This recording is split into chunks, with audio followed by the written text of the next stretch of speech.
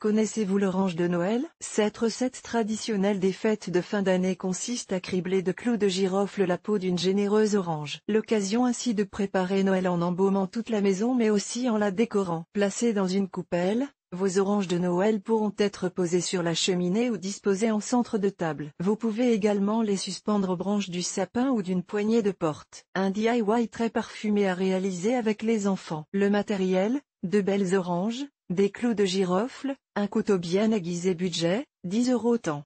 15 minutages, à partir de 3 ans les étapes. 1.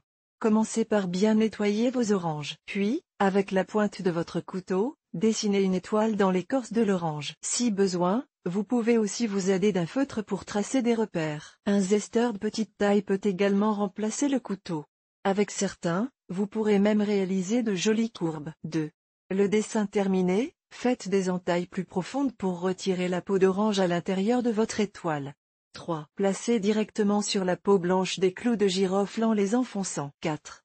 Faites une nouvelle orange mais amusez-vous à varier les techniques et les motifs. Cette fois-ci, vous pouvez faire des entailles tout le long de la grume avant de percer la peau à l'aide des clous de girofle. Au final, quand on vous dit que c'est enfantin, selon leur âge, vos enfants seront plutôt de corvée de clous de girofle ou s'amuseront à dessiner les motifs sur l'écorce. Lorsque vos oranges de Noël sont terminées, placez-les dans le salon. Vous pourrez les conserver durant plusieurs semaines et en séchant, elles parfumeront toute la maison.